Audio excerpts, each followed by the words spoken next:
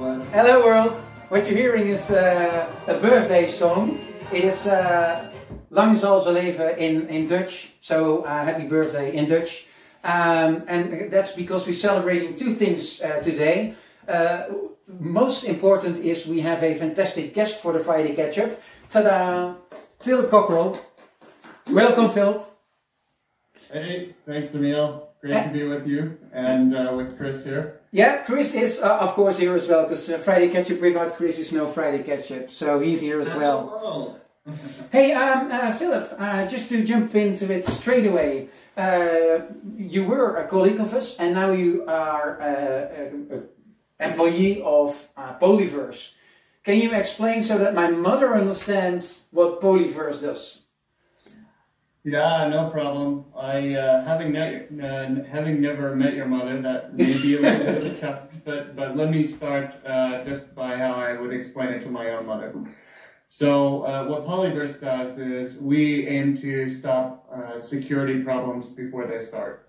Um, really by um, solving the world's security problems once and for all. We know that uh, through research done by MITRE and by uh, a bunch of these uh, industry security experts that the number one attack vector for security is uh, through, through memory memory-based attacks. Okay. And so what Polyverse does is we inject diversity through um, through code compilation to help improve security. Now, what that means in terms that, that someone simple like me could understand. Uh, and us. That, and all of us, right?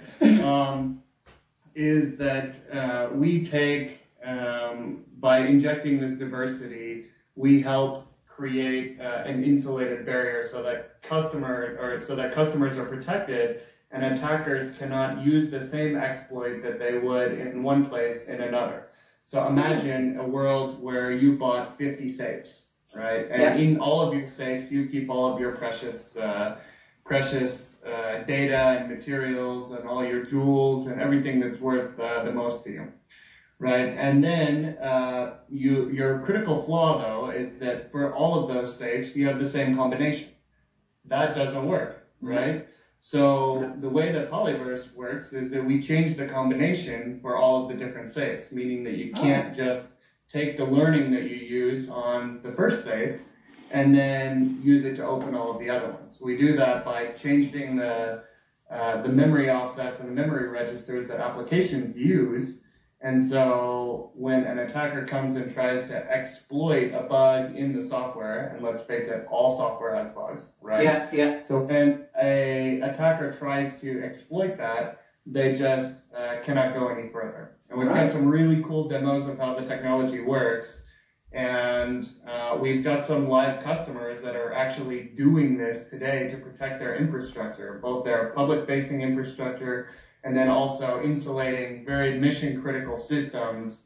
Um, like, for example, the U.S. Uh, Department of Defense, um, excuse me, the U.S. Department of Defense is uh, using polymorphing and polyverse to help protect their assets. All right. So, so if I try to explain it with my uh, only management and sales and marketing background, it's like if you have a Trojan horse in, it can get out of the uh, the horse, or it can climb out, but that's where it stops. They cannot go any further than there. Right, and I think that we, um, if we, I wish we, maybe in a future uh, webcast, what we should do is actually show a demonstration of how the technology works. Yeah. Because uh, we can show you how um, memory exploits are uh, on a polymorphed system, a polymorphed Linux system, are no longer operational. And mm-hmm. we'll, we can do a live demonstration to show how that works. All right. Well, I think we have to. Also, yeah, go on, uh, Chris. Oh yeah, I, I've been thinking about security a lot because kind of this week's motto has been security everywhere, a lot of announcements. And why I think this is such a actually great step, especially working together with us at SUSE, um, is if, if I'm thinking about what am I selling to my customers, it's digital transformation, it's automation, we're going into a low code and no code world. And what does that basically mean? You know, we're operating in cloud systems. That means we sometimes have non-technical professionals actually in the meantime building their own apps, databases, putting stuff onto a server, and nobody ever thinks so much anymore about the infrastructure, especially when we're in a cloud system and putting a layer kind of in between the creator and the user and the infrastructure to keep it safe after a process, after a predefined uh, yeah, way of working and, mm-hmm. a piece of software just makes so much sense to me. And of course, I kind of, I don't know what it is, love the name Polyverse and polymorphing. That just Doesn't it, it? It does. It totally sounds cool. I have to admit, I, I really wanted to come work for this company even before I knew what it did, just based on the name. It, it can be cool, but but do you also have such a cool uh, um, mascot like like we do? No, we don't have the cool mascot. Oh. You know, what we do have is a really phenomenal partnership with SUSE that we're all very, very excited. Oh, yeah, you're stealing my next question. Go on, tell me what, uh, because I saw uh, some news here and there on social media uh, about the great cooperation between Polyverse and SUSE. Tell us. Yeah, no problem. So the reason that we're so excited about this partnership is it actually means that Polyverse can take to our customers a full solution stack, right?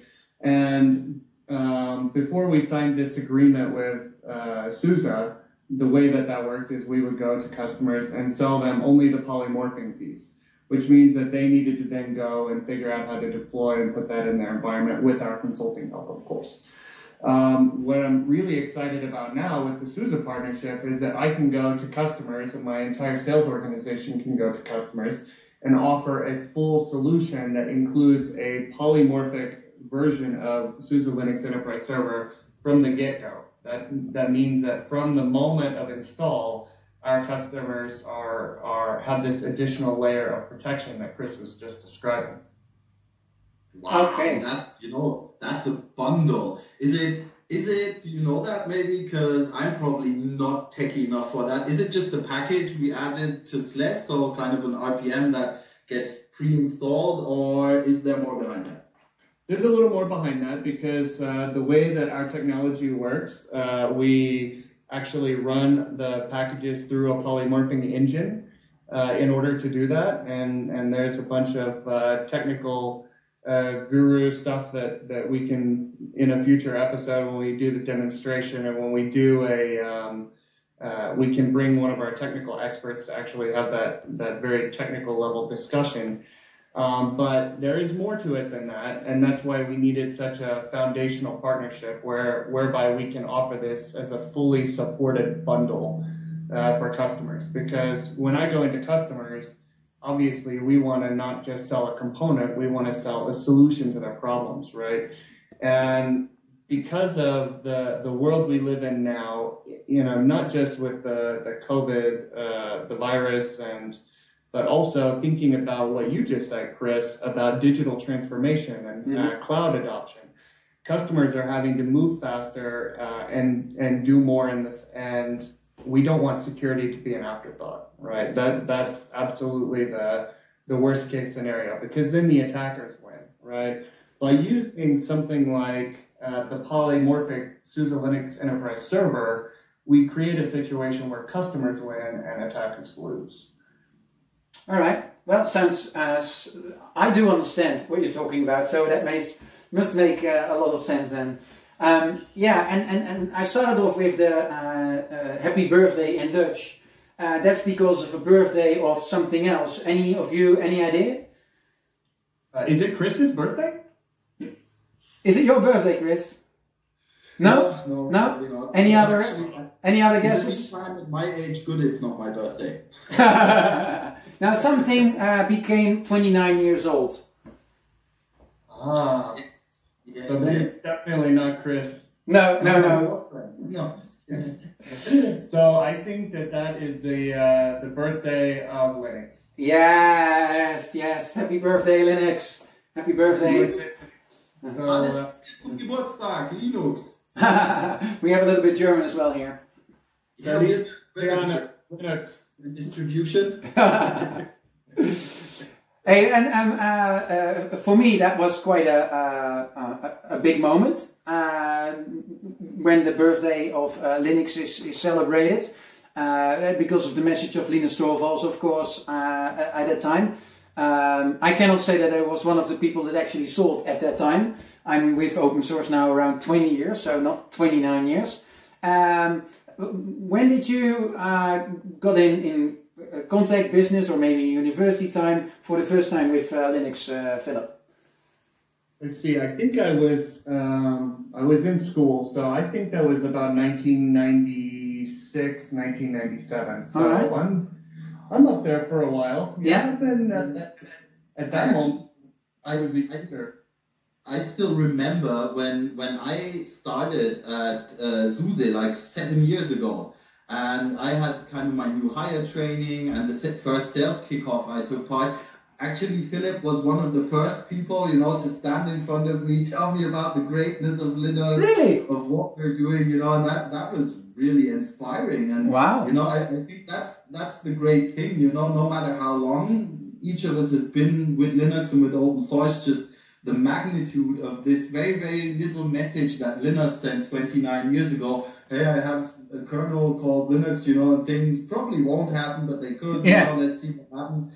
Um, thinking about the software we use, the technology we use, the people we met, the companies we've worked for, uh, you know, all, all, the all the different stuff we've just done and seen in the context of Linux and open source is awesome. You know, that's that's what I'm celebrating, or I was celebrating. yeah, yeah, absolutely. Yeah, well, me too. Similar uh, that uh, from the birth of Linux came the birth of open source, and uh, that's uh, something that, uh, well, as we all know, uh, we find very, very important.